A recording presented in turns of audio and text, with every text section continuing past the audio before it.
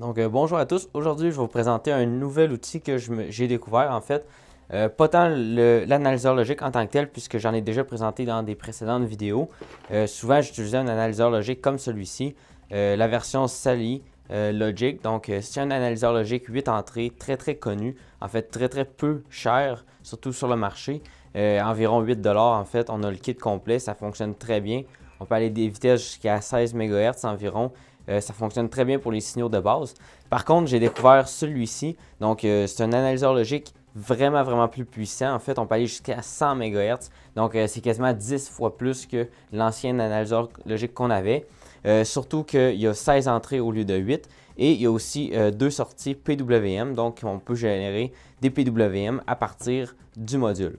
Donc, comme vous voyez, ça se branche via un câble USB tout simplement vers l'ordinateur. Et ce que j'apprécie vraiment beaucoup, c'est l'interface, puisque l'interface est très, très, très similaire euh, à celle-ci euh, qu'on utilisait avec le Logic euh, conventionnel qu'on utilisait en fait. Donc l'interface est très, très, très similaire. les fonctionnalités, c'est les mêmes et vous allez voir que finalement, ils ont utilisé le même visuel pour créer leur application. Donc, euh, nécessairement, euh, cet analyseur-là, il coûte vraiment beaucoup plus cher que euh, celui-ci. Par contre, si vous utilisez, vous voulez faire en fait de l'analyse de signaux de meilleure qualité à plus haute fréquence, je vous recommande celui-ci au lieu de celui-là. nécessairement, juste par la qualité, on voit celui-ci, la qualité des câbles, c'est très très fin.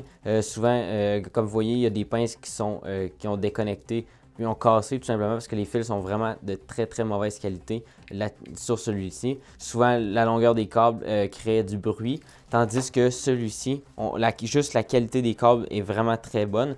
Euh, c'est des câbles individuels au lieu d'être euh, un ruban comme celui-ci.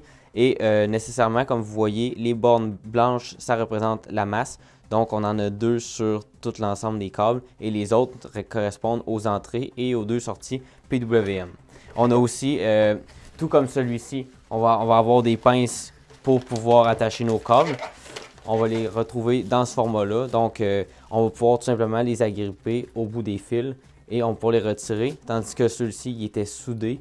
Donc, on n'avait pas le choix de les laisser là. Donc, euh, jusqu'à date, c'est des points positifs. Je vais vous montrer maintenant l'interface et euh, on va faire quelques analyses.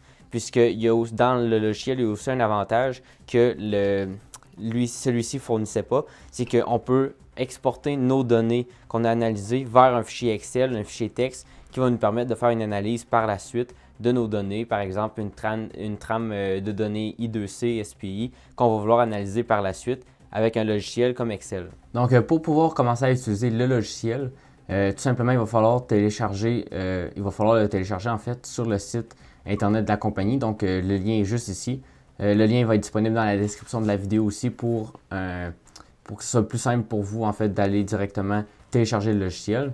Une fois que c'est fait, en fait, le logiciel va ressembler à ça ici. Et vous devriez voir une fois que vous connectiez, une fois que vous allez connecter en fait votre analyseur, vous devriez voir Connected en haut ici. Sinon, euh, et vous devriez le voir ici aussi. Techniquement, il devrait euh, se connecter automatiquement puisque vous avez préinstallé euh, le driver, en fait le pilote pour faire fonctionner l'analyseur logique. Mais si ça ne fonctionne pas, il faudra télécharger le pilote séparément.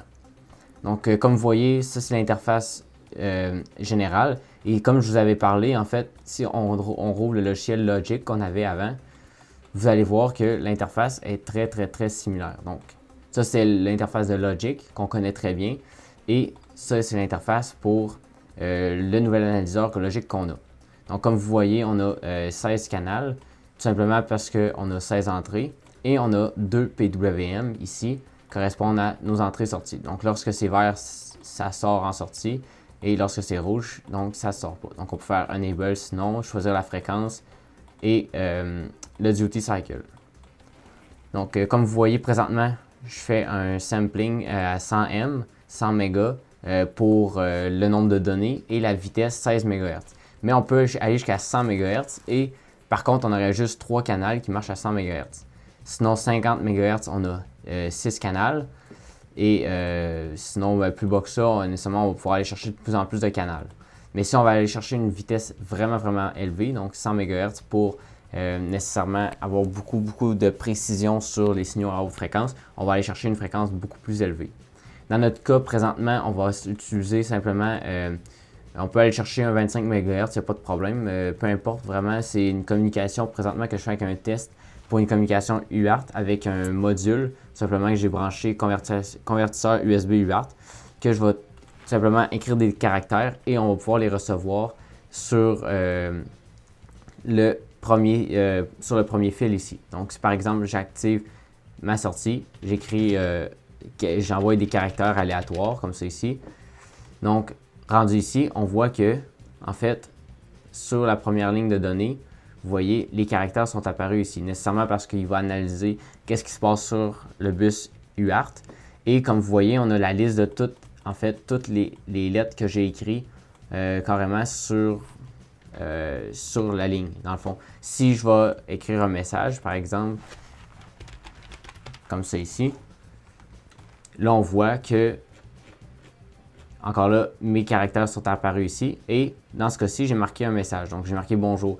donc, c'est beaucoup, beaucoup plus facile à interpréter qu'à aller lire chacun des caractères. Et ça, c'est pareil pour euh, UART, euh, I2C, SPI, OneWire, absolument tous les types de communication qu'ils offrent. En fait, il y en, offre énormément. Donc, c'est ça qui est intéressant aussi. Et euh, ça nous affiche vraiment les données qui, qui transitent vers le bus. Donc, si on a, par exemple, une communication I2C vraiment chargée avec beaucoup de données, ben, on va simplement avoir à regarder le tableau ici. On n'aura pas besoin d'aller lire toutes euh, les trames individuellement. Et ce qu'on peut faire, ce qui est intéressant, c'est exporter justement les données. Par exemple, mon message bonjour, je pourrais exporter ça en euh, fichier Excel. Donc, comme ça, ici, je pourrais, après ça, visualiser euh, plus facilement les données qui ont transité sur le bus. Donc, comme vous voyez, on aurait bonjour. Donc, comme ça, ici, c'est beaucoup plus facile. Là, dans ce cas-ci, on a seulement euh, communication série, donc on a seulement euh, un, octet à la fois. Par contre, pour la communication euh, I2C, par, exemple, on aurait beaucoup plus de données. Comme vous voyez ici, I2C ou SPI, on a plus de données pour MISO, MOSI. Dans le cas d'I2C, on a l'adresse, on a le data, on a si c'est un read ou un write, on a l'acknowledge aussi. Donc, beaucoup plus de données, donc c'est plus facile à voir et à lire et interpréter dans un fichier Excel par la suite. Euh, sinon, comme je vous avais mentionné, on a les PWM qu'on peut mettre à très haute fréquence. Le maximum, c'est 10 MHz. Donc, si vous voyez, j'essaie de faire à 100 MHz, ça ne fonctionne pas. Puis, me mettre à 10 MHz. Donc, c'est quand même très, très bien pour un PWM généré euh, via une sortie comme ceci. Euh, 10 MHz, ça commence à être très, très élevé pour un signal généré via un petit module comme ça. Euh, sinon, comme vous voyez, on peut avoir des manques de données, en fait, d'accumulation de données de vraiment beaucoup, beaucoup. Et des vitesses, comme je l'ai dit, qu'on peut aller de très bas à très élevé. Nécessairement, plus on va vouloir aller élevé, euh, plus le temps nécessairement va être euh, plus faible. Comme vous voyez, expected time, une seconde. Si on va par exemple à 16 MHz, 6.25 secondes, nécessairement parce que la vitesse est plus faible. Donc, euh, pour plus de détails sur l'analyseur logique, rendez-vous dans la description de la vidéo. Vous allez avoir aussi le lien de référence pour cet analyseur logique-là.